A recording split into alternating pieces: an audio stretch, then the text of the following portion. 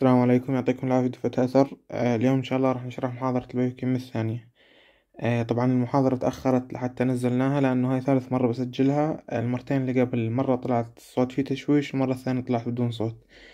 فيعني إن شاء الله المرة هاي بس أكملها يطلع فيه صوت وما يكونش فيه خلاف و... وننزل المحاضرة. طبعا المحاضرة آه بنسبة كبيرة جدا تعتمد على الحفظ.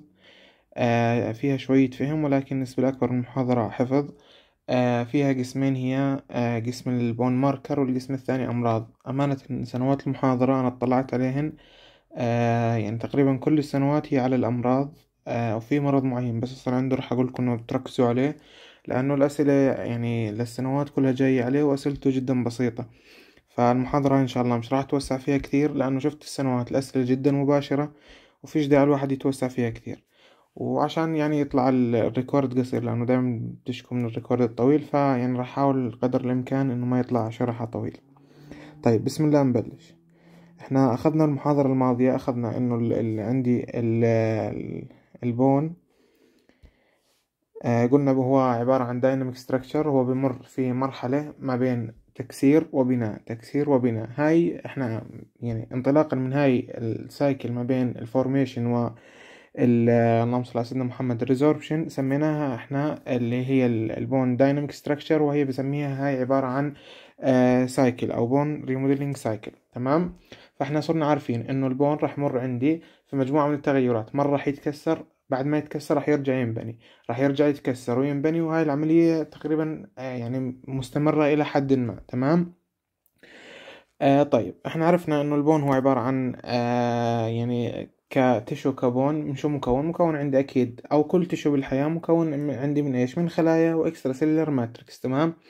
فال bone بحد ذاته في عندي آه cells مكونات له وفي عندي extracellular matrix وأخذنا مكوناتهن بالمحاضرة الماضية وعرفنا إن ال extracellular matrix فيها الكولاجين وال non collagen protein وعرفنا إن الكولاجين موجود في ال bone هو type one تمام؟ تمام.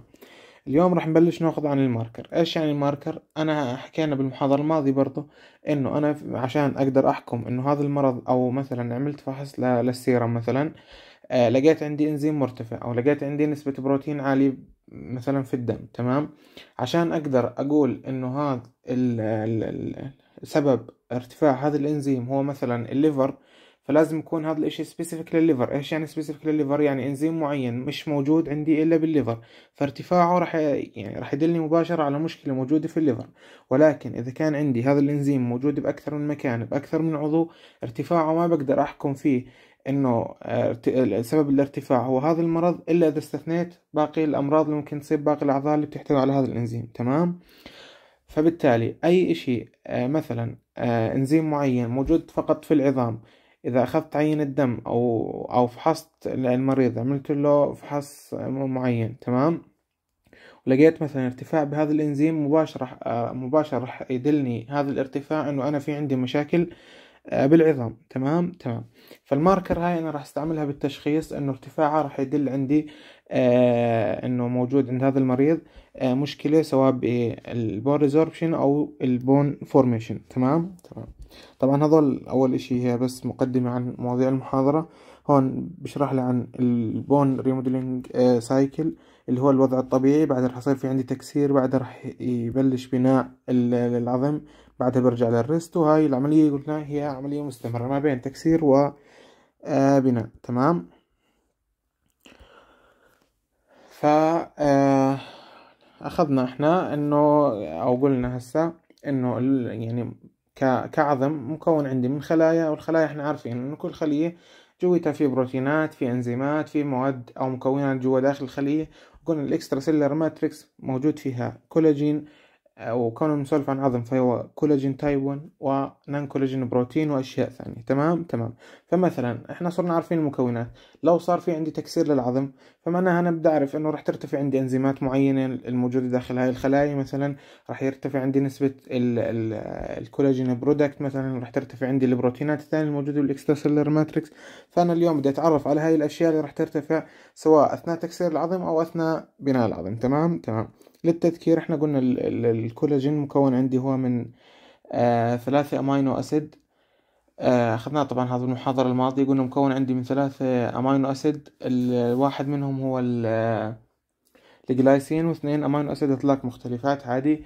وأخذنا إنه هو مكون عندي من آه، ثلاثة chain two alpha chain و alpha one chain وواحدة alpha two chain تمام؟ تمام. هذول طبعا يعني ملاحظات بهمني لقدام طيب هاي شرحناه هون بذكر لي عن ال bone alkaline phosphatase ال BAP لما يكون مرتفع هو بقول لي دليل على bone آه، fracture أو بكون موجود عند ال pregnant women أعلى من ال non pregnant طيب هذا وين أخذنا ال alkaline phosphatase؟ ذكرنا بالمحاضرة الماضية إنه هو موجود عندي آه، بال osteoblast. osteoblast هي الخلايا المسؤولة عن بناء العظم. تمام؟ تمام. هو عن شو مسؤول؟ مسؤول عن ال bone mineralization آه إيش يعني؟ يعني مسؤول عن تكوين العظم خلينا نقول. فلما يكون في عندي fracture أو واحد مثلا صار عنده كسر معين أكيد راح يرتفع هذا الإنزيم. ليش؟ لأنه يعني بعد ما يصير كسر قلنا أنا عندي cycle صار عندي كسر معناها بعديها بده يصير عندي بناء. طب عشان يصير في عندي بناء لازم ترتفع عندي هاي الإنزيمات اللي بتساهم آه في عملية البناء. فراح يرتفع ال alkaline phosphatase. آه عند ال pregnant women طبعا في أكثر من آه في أكثر من نظرية أو في أكثر من سبب مذكورات عن هذا الموضوع مش مش ذاكر لكم إياها الدكتور ولكن آه في نظريات بتقول إنه بسبب الهرمونات نظريات بتقول عن طريق ال إيش اسمه الغشاء اللي بيكون محيط بالجنين. اللهم صل على سيدنا محمد. نسيت اسمه آه إنه بصير زيادة لافراز ال alkaline phosphatase. في نظريات بتقول لأنه أصلا العظم تبع الجنين ببلش يتكون بده يبلش يتكون فراح يرتفع هذا الإنزيم. المهم إنه بال pregnant women ال alkaline phosphatase بكون أعلى من ال non pregnant تمام ال bone turnover هو نفسه يعني نقدر نقول إنه نفسه ال cycle هاي إنه بكون في عندي resorption بعدها بصير في عندي replacement أو بصير في عندي bone formation وهاي عملية قلنا مستمر لحد ما. تمام؟ تمام. هون آه برجع بعيد نفس الإشي اللي, اللي شرحناه إنه لما يكون في عندي bone turnover اللي هو سواء بناء أو هدم راح يصير في عندي ارتفاع آه ل marker معينة سواء كانت هاي إنزيمات مثل مثل ال bone آه اللهم صل على سيدنا محمد ال bone alkaline phosphatase أو بصير في عندي ال acid phosphatase ارتفاع أو بكون في ارتفاع يعني إما انزيم إنزيم اللي بيرتفع أو ال non enzyme إيش يعني ال non enzyme اللي يعني مثال على البروتينات. فممكن يكون في ارتفاع لل يعني لقطع الكولاجين لما يصير في تكسير راح يتكسر الكولاجين فراح ترتفع أو other protein تمام؟ هون طبعا الدكتور بركز كثير على الأساي بالشرح ولكن بالعادة ما بجيب عليها أسئلة هون. بذكر إنه الإنزيماتيك أساي هو بهمه الأنزيمات النشطة مش كمية الأنزيمات. إيش يعني؟ يعني أنا مثلا من أجي بدي أفحص أنزيم معين موجود عندي بالدم هو يعني بفحص لي الأنزيمات النشطة يعني الأنزيمات اللي قاعدة بتعمل اكشن معين. أما أنزيم مثلا موجود ومش مؤثر أو أنزيم مش شغال ما, ما يعني ما بهمني في الأنزيماتيك اسي أما ال non enzymatic assay هو يعني بركز على ال concentration بقيس هاي بتقيس كمية هاي بتقيس فعالية مش كمية تمام؟ طيب هون راح يبلش يذكر لي إيش هم اللي يعني ال marker اللي إذا شفتهم بعرف إنه في عندي bone resorption وإيش هم يعني ال marker اللي اللي بس أشوفهم بكون في عندي bone formation أنا هون بيهمني بس أكون حافظ إيش اللي اللي لل resorption وإيش اللي لل formation يعني إذا بده يجيب راح يجيب لك مثلا كل ال formation ما عدا أو كل ال resorption ما عدا تمام؟ فال marker لل bone resorption أول شيء إحنا عارفين resorption يعني تكسير. فشو اللي بتكون عندي؟ اما بده يكون في عندي ارتفاع إنزيمات أو يعني أو نواتج تكسير للكولاجين أو البروتينات الثانية تمام؟ فأول واحد عندي هو collagen breakdown product إيش هم؟ بدي أحفظهن.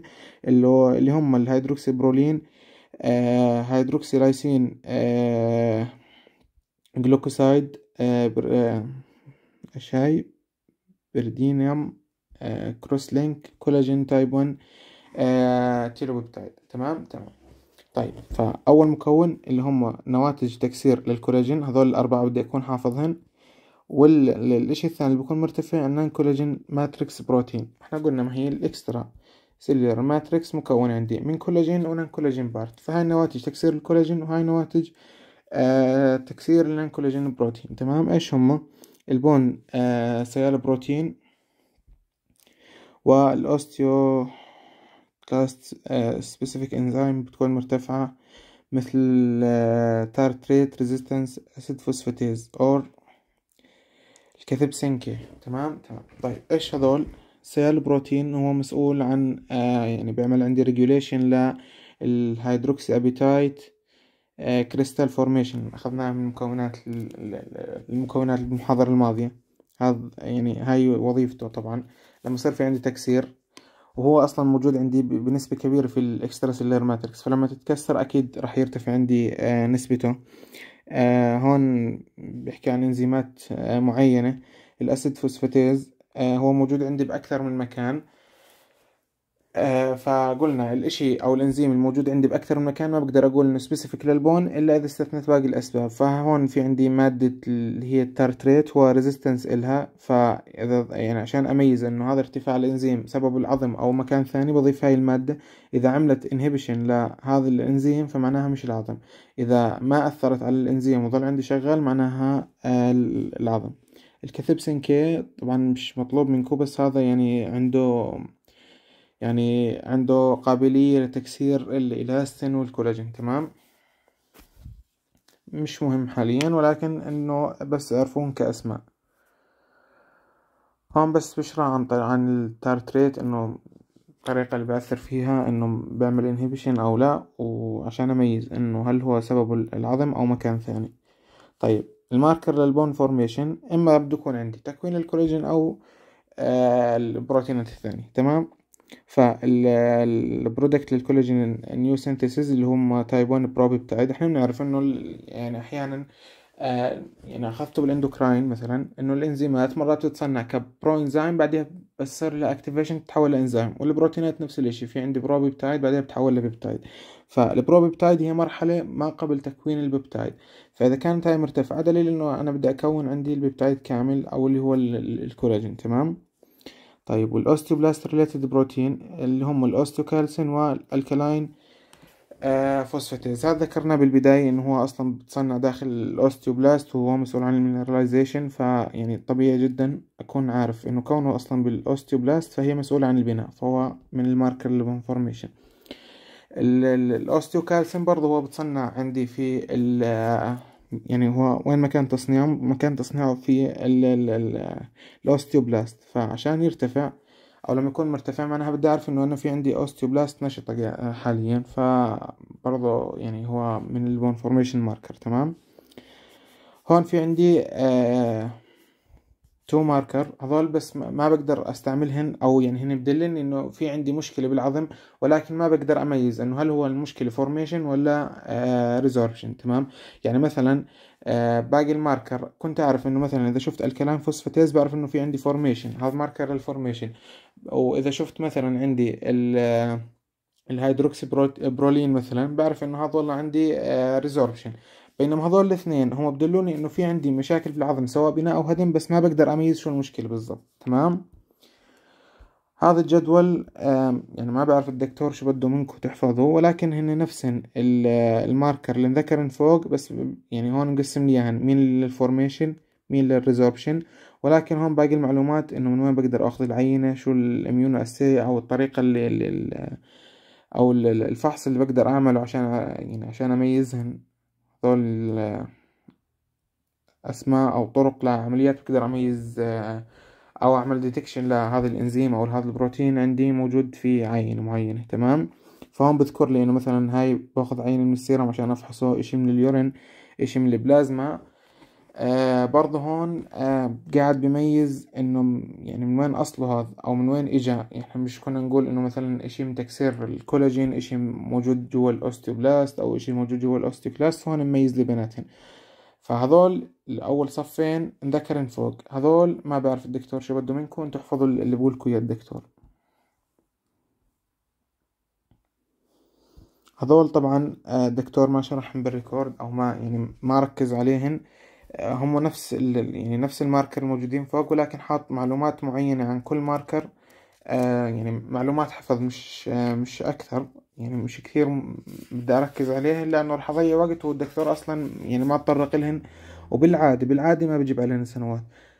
ما بيجيب عليهن سنوات مش يعني إنه ما تحفظوهن لا اقرأوهن وطلعوا عليهن ولكن هو بالعادة ما بيجيب عليهن. فيعني أعطوا أهمية لباقي المعلومات ولكن مروا عليهن احتياطا.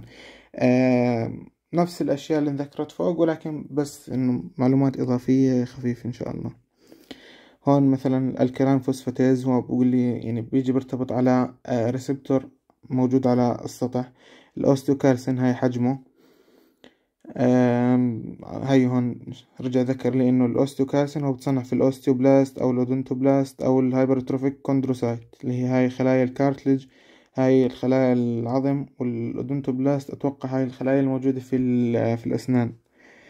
آه برضو ال procollagen procollagen type 1 propeptide هون هو بيقول لي derived من ال collagen type 1 type 1 اللي هو موجود عندي في العظم mainly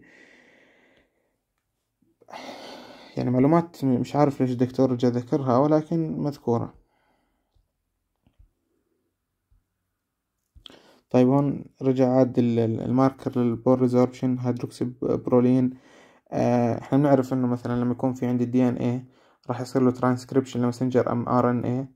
بعدين راح يصير له translation تمام؟ عشان يعطيني اللي هو ال peptide أو راح يعطيني البروتين اللي بده يعطيني الوظيفة المعينة اللي اللي أصلا هذا الجين راح يترجم لها تمام؟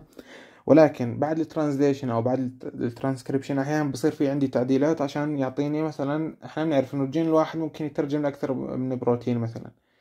تمام؟ أو الكودون الواحد ممكن يعطيني أكثر من جين. فمين بيتحكم بالأنواع المختلفة من البروتينات؟ أو أحيانا حتى التعديلات هاي ممكن مش إنه تعطيني نوع جديد أو تعطيني وظيفة ثانية. أحيانا هاي بتعمل لي طفرات بتطلع لي folding protein فأحيانا بصير في عندي بوست ترانسكريبشنال موديفيكيشن أحيانا post translation modification حسب العملية وحسب شو ال يعني messenger RNA أو ال DNA أو الجين اللي عندي آه، بيختلف عندي الناتج تمام؟ فال hydroxyproline هو بقول لي من وين آه، بيطلع؟ من ال post translational hydroxylation لل proline. تمام؟ هاي المعلومات يعني اقرأوها صدقا لو بدي أقرأها أنا راح أكون بس يعني تلاوة عطرة راح تكون فأنتوا اقرأوها لحالكم ما فيها إشي وهاي هون حتى التفريق قال لكم الدكتور ما ما شرحها. تمام؟ ال marker انذكرن فوق ولكن كمعلومات إضافية فبتقدروا تقرأوها لحالكم. هون راح نبلش بالجزء الثاني من المحاضرة جزء الأمراض. الجزء الأهم من المحاضرة صدقا والجزء اللي بيجي عليه الأسئلة بالعادة. تمام؟ فهون خلي تركيزكم أكثر بالمحاضرة؟ لأنه هون آه، العلامات بتيجي. تمام؟ فيعني هن هم آه، يعني كم مرض مش كثار وسهلات ولكن بدهم شوية تركيز عشان تكونوا ملمين آه، معلوماتهم وتكونوا عارفين إيش اللي بيجي عليهم. طيب Duchenne muscular dystrophy هذا بالذات المرض تقريبا كل مرة أو كل امتحان كان الدكتور يجيب عليه سؤال واذا بترجع للسنوات وأنا رجعت للسنوات. قبل ما أشرح المحاضرات كانت أغلب الأسئلة على هذا المرض. فركزوا عليه جدا وكونوا عارفين شو أهم المعلومات. هسا ال muscular dystrophy هي عبارة عن مجموعة من الأمراض الوراثية. مجموعة من الأمراض الوراثية بكون في عندي إيش؟ بكون فيها muscle weakness تمام؟ تمام. هذول المجموعة من الأمراض الوراثية اللي هي اللي هم ال muscular آه، dystrophy في منهن. آه، أمراض آه، متعلقة ببروتين اسمه dystrophin. تمام؟ تمام. هذول المرضين الوراثيين اللي بيعملوا لي muscle weakness المتعلقات في ال dystrophin هم عندي مرضين. واحد اسمه Duchenne muscular dystrophy والثاني مش مطلوب منكم ولكن يعني كويس تكونوا عارفينه اسمه Becker muscular dystrophy تمام؟ تمام. ليش ذكرت الثاني؟ لأنه أصلا مرتبط في آه، نفس البروتين. تمام؟ تمام. هسه راح أقول لكم شو ال يعني شو الاشي الفرق بينهن. طيب. اللهم صل على سيدنا محمد. فال Duchenne muscular dystrophy هو عبارة عن X linked إنه مرض وراثي. كونه X linked فهو يعني more بكون في ال men. ليش؟ لأنه ال men عنده هو XY فإذا X واحد انصابت كافي إنه يبين المرض بينما الأنثى عندها إكس إكس فلو هاي انصابت عندها هاي سليم ممكن تعطي وظيفة طبيعي فعادي يعني. تمام؟ طيب خلينا نشيلهن. أوكي. طيب هو X linked genetic disorder عن طريق آه، هو إيش اللي بالضبط اللي بصير فيه؟ آه، هسه إحنا قلنا هذول المرضين متعلقات في ال dystrophin. فبال Duchenne muscular آه، dystrophin آه، أو dystrophy إيش اللي بصير في عندي؟ أنا ال dystrophin كامل ببطل يطلع عندي يعني ما في عندي dystrophin فبالتالي في عندي خلل كبير. تمام؟ تمام. راح يطلع عندي muscle weakness وراح يسبب لي مجموعة من ال symptom اللي راح تظهر على هذا المريض. طيب البيكر شو بيفرق عن هذا؟ البيكر بكون في عندي mis-shape في ال في ال dystrophin. فهم الاثنين لهم علاقة بال dystrophin ولكن واحد في عندي absence لل dystrophin اللي هو بال Duchenne muscular dystrophy بال Becker بكون في عندي mis-shape تمام؟ تمام. آه طبعا نمط الوراثة مهم جدا. autosomal dominant كان الدكتور بالعادة أو باغلب الأسئلة بالخيارات بكون كاتب لك autosomal recessive مع إنه مش ذاكرها ولكن مذكور بال... جايب عليها كثير أسئلة. إنه مين الجمله الخطأ؟ والجواب هو ال autosomal recessive فهو autosomal dominant هو بكون في عندي absence لل dystrophin بيكون مبين على عمر صغير. وهاي مهمة جدا إنه هذا المرض أو هاي أعراض هذا المرض بتبلش تظهر على ال الإنسان بعمر كثير صغير. تمام؟ تمام. يعني مش وهو بالغ مش وهو كبير. حتى في يعني مصادر بتقول إنه بتبلش الأعراض تظهر على عمر أقل من خمس سنوات. تمام؟ فبكون في عنده muscle weakness تبين على عمر صغير. هذا ال prevalence له انه من كل 3600 شخص في عندي واحد مصاب. طبعا هذا الشيء يعني نوعا ما إنه في له prevalence بال male ذكرنا ليش بال male؟ لأنه X linked وفي عندي تسع أنواع من ال muscular dystrophy تمام؟ تمام. إيش يعني أسئلة السنوات اللي كانت تيجي عليه؟ أول شيء إنه autosomal dominant إنه بيجي على عمر صغير إنه في absence لل dystrophin إنه في عندي تسع أنواع من ال muscular dystrophy يعني هذول أهم الأشياء اللي كانت تيجي تمام؟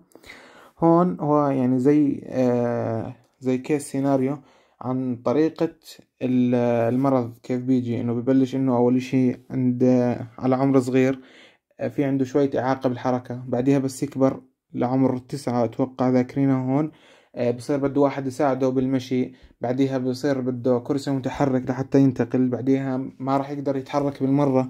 فهون بذكر لي بس زي سيناريو إنه كيف ممكن يجي هذا المريض أو الطريقة اللي راح يشكي فيها من من من الأعراض تبعت المرض. تمام؟ فهون هو progressive إيش يعني progressive يعني الحالة بتزيد سوء مع التقدم بال بالعمر. فبتبلش في weakness بال lower limb على عمر الأربع سنين.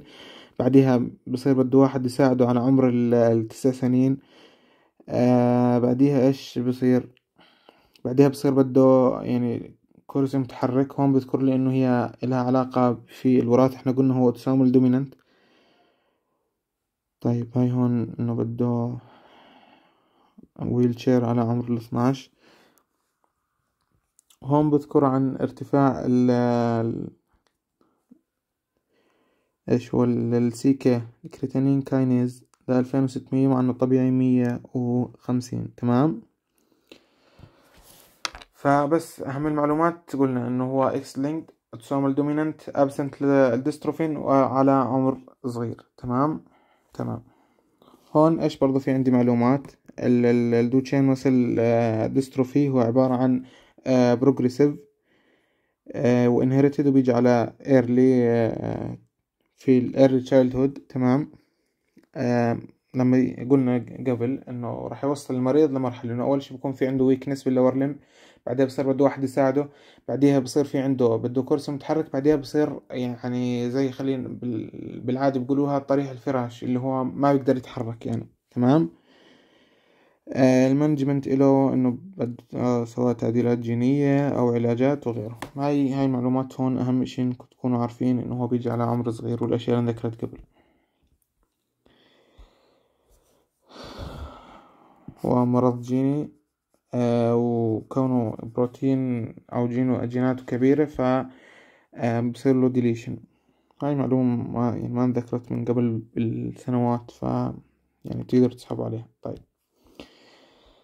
glycogen storage disease إحنا بنعرف إيش هو الجلايكوجين آه اللي هو يعني الطريقة اللي بتخزن فيها الجلوكوز بالجسم. تمام؟ تمام. بتخزن عندي الجلوكوز برجع. وقت الحاجة لما بدي جلوكوز أو بدي طاقة معينة لأنه إحنا بنعرف إنه الجلوكوز راح يتحول أو يصير glycolysis عشان يطلع لي ال ATP فلما أحتاج طاقة أو لما أحتاج جلوكوز راح يتكسر هذا عند الجلايكوجين ويعطيني جلوكوز أو يعطيني الطاقة. طيب هذا موجود آه، يعني بشكل طبيعي بيكون موجود عندي جلايكوجين بالجسم ولكن ضمن كميات معينة. ارتفاع الجلايكوجين داخل الخلايا أو داخل السيتوبلازم تبع الخلايا راح يعمل لي إيش؟ راح يعمل لي أمراض تمام؟ آه، وراح يؤدي إلى تدمير الخلايا وموتها. طيب طيب. فال glycogen storage disease هي مشاكل في تكسير الجلايكوجين إنه أنا مش قادر آه مش قادر الجلايكوجين اللي مخزن عندي إني أكسره وأطلع منه جلوكوز أو أطلع منه آه طاقة. طبعا إيش بتكون المشاكل؟ مشاكل في إنزيمات. حسب نوع الإنزيم راح يختلف عندي المرض وكل مرض مسمى حسب العالم اللي اكتشفه تمام؟ تمام. فكون مميز كل مرض شو الإنزيم اللي بكون آه بكون خربان فيه واحيانا بهمك الجدول الموجود هون عندي اللي هي أعراض. طيب ال McArdle syndrome هو type type 5 من ال glycogen storage disease عن طريق شو بكون أو وين تكون المشكلة؟ بتكون المشكلة في جلوكاجون أو جلايكوجين عفوا glycogen phosphorylase فإذا كان عندي هذا الإنزيم في مشكلة مش موجود عندي داخل الجسم ما راح يتخزن أو ما راح يتكسر عندي الجلايكوجين المخزن داخل الجسم فبالتالي راح يطلع لي ال McArdle syndrome تمام؟ تمام. إيش الأعراض اللي بيجي فيها هذا المريض؟ آه بيكون عنده اللهم صل على سيدنا محمد آه بيكون عنده آه تتأثر عنده ال skeletal muscle ال liver enzyme مهم هون عندي إنه ال liver enzyme بتظل آه normal ما بترتفع أو ما بتنخفض أو ما بصير فيها مشكلة. فراح تتأثر عنده ال skeletal muscle ولكن ال liver enzyme بتظل آه زي ما هي. راح يصير عنده ضعف أكيد ما هي أصلا. هي إحنا نذكر عن أشياء بتعمل لي ضعف في العضلات. آه في معلومة مهمة هون إنه normal mental development السؤال اجى بالسنوات كان إنه بصير في عندي impairment أو بصير في عندي مشكلة في ال ال ال mental development هو لا بظل آه طبيعي. آه myoglobin myoglobinemia أو آه myoglobinuria إيش يعني؟ اللي هو ارتفاع ال myoglobin في آه في ال urine أو في الدم. ليش؟ لأنه إحنا بنعرف هذول موجودات في العضلات. ف كون ارتفع عندي الجلايكوجين صار عندي مشكلة وأدى ارتفاع نسبة أو لكميات كبيرة في آه، الخلايا العضلية في ال skeletal muscle قلنا راح تتدمر هاي الخلايا. راح يطلع ال myoglobin اللي فيها للدم وراح يصير آه، يرتشح لل urine. فراح يصير في عندي globinuria myoglobinuria و myoglobinemia طبعا لما يروح على على ال urine راح يتغير لون راح يصير تقريبا red لون ال urine. تمام؟ آه بس هاي يعني هاي أهم المعلومات تكونوا عارفين إنه هو type five من ال glycogen storage disease بكون في عنده مشكلة في ال glycogen phosphorylase ال mental development بتكون normal ال liver enzyme بتكون normal ولكن ال skeletal muscle بتكون affected آه، تمام؟ وبيعمل لي myoglobinemia و myoglobinuria هو نفس الإشي قاعد بعيدهن. طيب النوع الثاني من ال glycogen storage disease اللي هو Pompe disease type 2 من ال glycogen storage glycogen storage disease وين بتكون المشكلة؟ بتكون موجود عندي في الألفا 1 4 glycoside تمام؟ تمام. إحنا بنعرف إنه داخل الخلايا أو داخل الجسم في عندي ال lysozyme وال lysozyme بيحتوي على إنزيمات هاضمة. تمام؟ تمام. فجزء من الجلايكوجين. آه، بتكسر عندي عن طريق اللايزوزوم آه، عن طريق إنزيم الالفا 1 آه، الفا 1 4 glycosidase تمام؟ أو glucosidase تمام؟ تمام. فإذا هذا الإنزيم اللي قاعد بيكسر الجلايكوجين كان في عندي deficiency فيه يعني مش موجود عندي في عندي نقص في هذا الإنزيم معناها الجلايكوجين ما راح آه، يتكسر فبالتالي راح ترتفع نسبته جوا السايتو بلازم تمام؟ فبالتالي راح يعمل لي مشكلة وراح تموت هاي الخلايا. طيب. هسا الجلايكوجين بس يعني موجود بشكل طبيعي موجود عندي في السيتوبلازم آه جوا ال liver جوا ال muscle. تمام؟ موجود عندي ولكن بكميات يعني أو ضمن الحد الطبيعي. إحنا نعرف إنه كل شيء موجود عندي داخل الجسم ضمن حد آه معين. إذا زاد عن حده راح يعمل تدمير. تمام؟ تمام.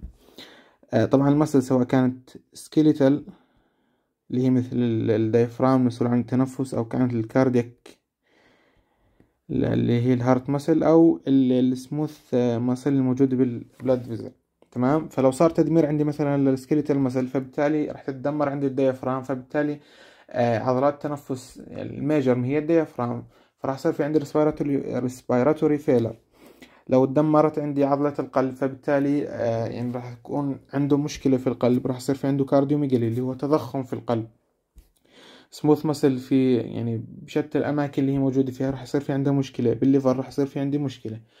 فال Pompe disease ناتج عن الألفا 1 4 glucosidase آه يعني راح يعمل لي آه مجموعة من الأعراض. إيش إيش أهمها؟ إنه بكون في عندي generalized يعني بأكثر من مكان excessive glycogen concentration طيب بصير في عنده cardiomegaly ليش؟ لأنه قلنا أصلا هي موجودة في عضله القلب يعني موجودة ضمن عضله القلب. فإذا تأثر الكولاجين أو زاد تأثرت الكولاجين الموجود داخل عضلة القلب راح يصير في عندي cardiomegaly بصير في عنده early death نتيجة ال heart failure برضه نتيجة ال respiratory failure يعني راح تدمر عندي ال skeletal muscle فراح تدمر عندي ال respiratory muscle مين لل diaphragm lysosomal storage disease قلنا ليش؟ لأنه أصلا هذا موجود في ال lysosome ال generalized لأنه بصير بأكثر من مكان. طيب إيش برضو في cardiomegaly طريقة علاجه اللي هي enzyme replacement يعني بصيروا يعطوه يعني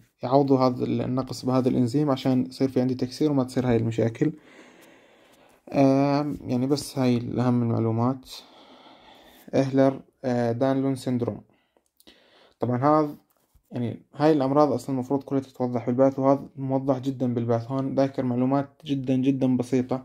إيش بصير في هذا؟ بصير آه هذا المرض آه بكون في مشاكل في اللهم صل على سيدنا محمد آه بال collagen synthesis. فيعني مشاكل بتصنيع ال ال آه الكولاجين. الكولاجين وين موجود؟ موجود عندي في ال connective tissue باختلاف أنواعها. كل type من الكولاجين موجود في عندي type معين من ال connective tissue فمثلا type 1 كولاجين في ال bone type 2 مثلا موجود وين؟ آه أو type 1 برضه موجود في ال skin type 2 موجود عندي في في ال cartilage وال 3 و 4 5 كل واحد موجود آه في مكان. تمام؟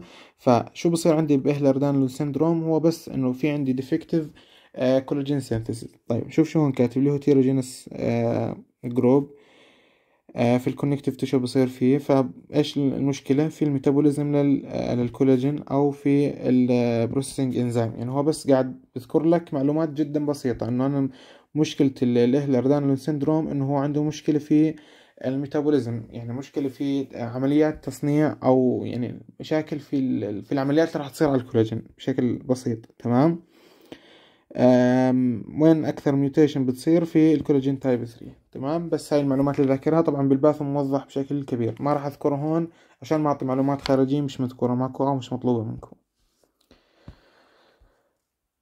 طيب خلينا نشرح آخر واحد بعدها أرجع لل osteogenesis imperfecta ومع هاي توضحت برضو بالمحاضرة الماضية وانذكرت عندكم بال patho ولكن مش عارف ليش رجعت انذكرت هون.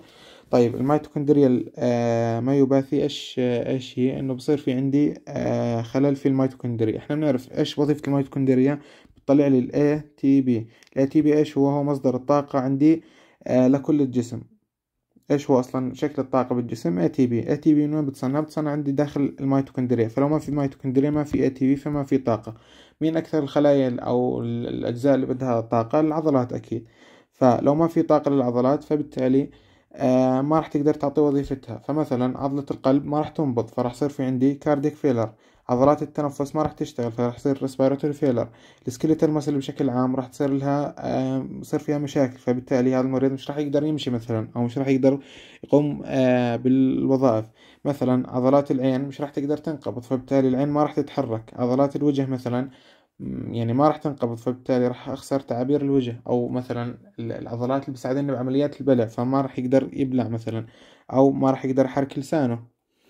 فحسب العضلة اللي بتتأثر راح يختلف عندي ال symptom اللي طالع. تمام؟ تمام. إيش سببهم؟ سببهم من ضربة الميتوكوندريا اللي هي مصدر الطاقة بالجسم فبالتالي ما في طاقة.